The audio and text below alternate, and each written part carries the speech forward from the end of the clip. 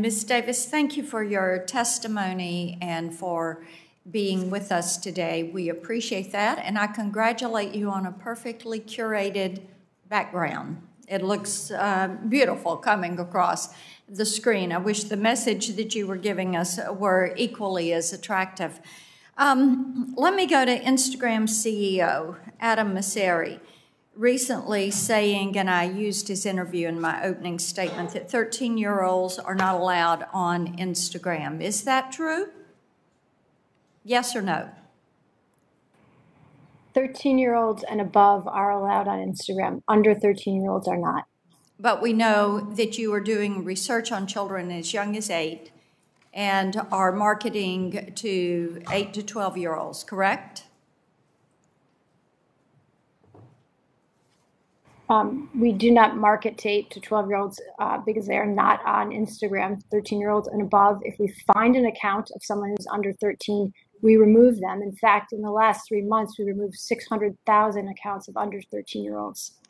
Okay, so uh, talk to me about how you enforce the policy that a 13 year old under 13 cannot be on Instagram. Actually, I appreciate that question. So there are a number of different things that we do. We have an age screen when someone tries to join Instagram. If we see someone trying to repeatedly change the date to get past that, we actually will restrict their ability to access the access the app. We also allow people to report underage accounts, even if you're not on Facebook, and we will uh, remove them.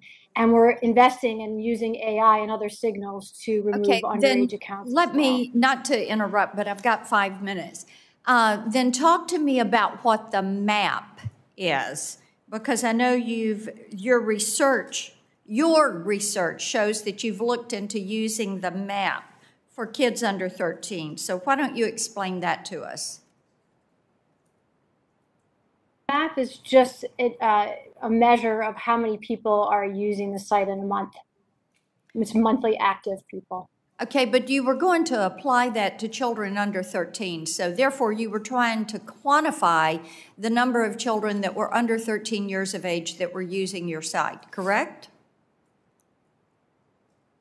Respectfully, that that doesn't sound accurate to me. In fact, what we are trying to do is okay. well, then let's let's have site. you clarify that for the record because your research shows that you were using the map on children under 13. I want to move on and talk to you about the information I've seen about the presence of content on Facebook and Instagram that is used to recruit women into domestic servitude. This is a kind of trafficking where people are forced to work against their will for little or no pay. Their passports are often taken away from them, they can be auctioned online and abused.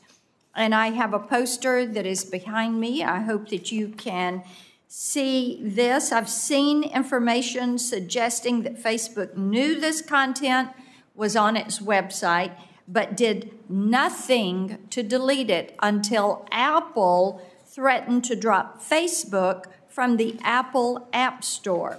To quote from a Facebook internal report, and I quote, was this issue known to Facebook before the BBC inquiry and Apple escalation? Yes, end quote.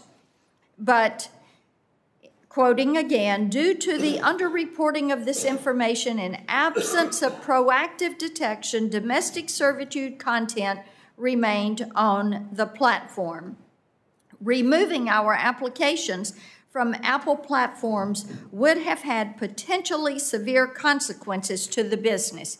End quote. Ms. Davis, did Facebook know about content on its platform used to recruit women into forced slavery?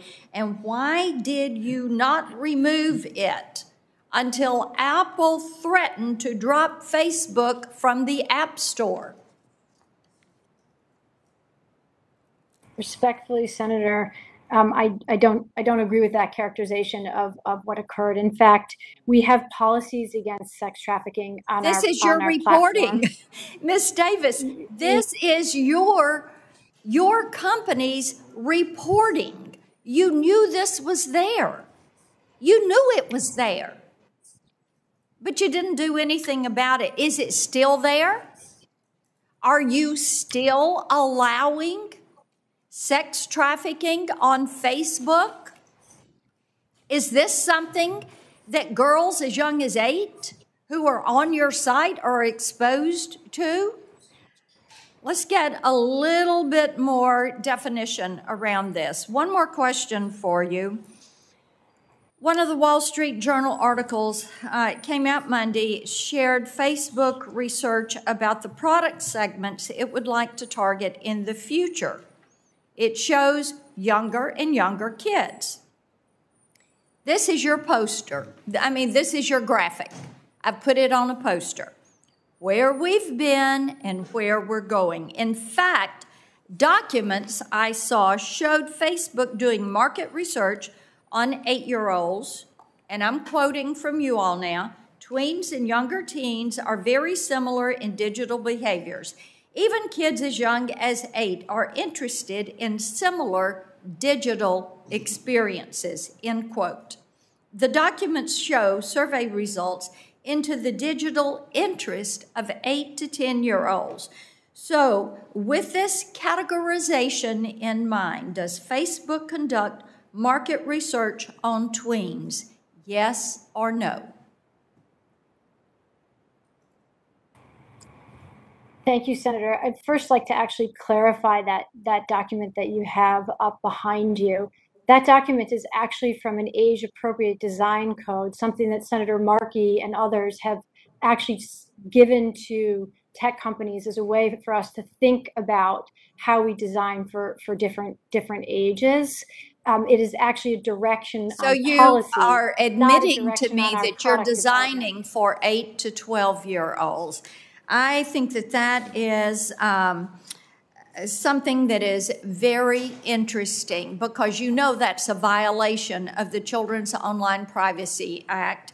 And I guess what you're telling us then is that you also are doing market research on children and that you are continuing to collect data on children as you try to figure out what type digital experience children, children ages 8 to 12 are interested in having. I'm over time, Mr. Chairman. I will yield back. Thanks, Senator Blackburn. Senator